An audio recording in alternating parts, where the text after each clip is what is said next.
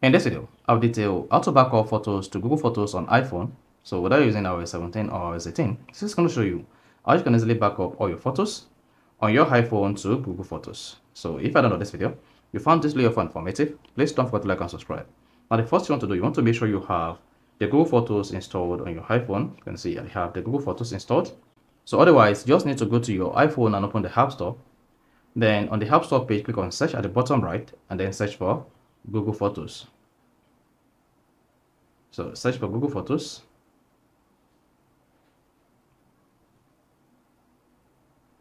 Then on this page, locate Google Photo and make sure you download and install the Google Photo as you can see. Now, once you download and install the Google Photo, go ahead and click on the open button and this is going to open the Google Photo on your iPhone. Then if you're using this for the first time, you may see turn on backup. So if this is not enabled, then just turn this on and tap turn on backup. Once you tap turn on backup, this is going to start backing up your photos to Google Photos. However, to manually back up your photos to Google Photos on iPhone, all you just need to do is click on the profile icon at the top right.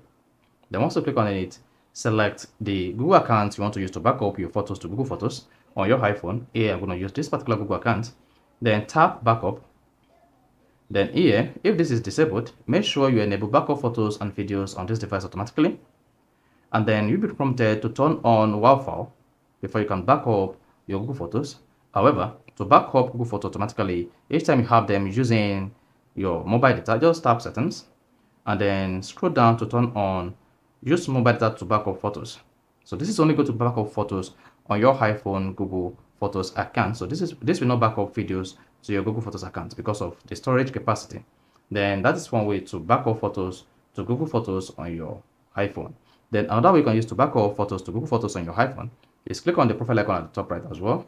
Then scroll down and click on Google Photos settings. Then once you selected that, under settings locate backup and then click on it. Then you need to turn on backup. If this is disabled, turn this on. Then at the same time, scroll down and tap use mobile data to backup photos. So once that is enabled, then your photos will backed up automatically to your Google Photos on your iPhone. So that's all you need to do to back up photos to Google Photos on iPhone. So if you found this video fun informative, please don't forget to like and subscribe.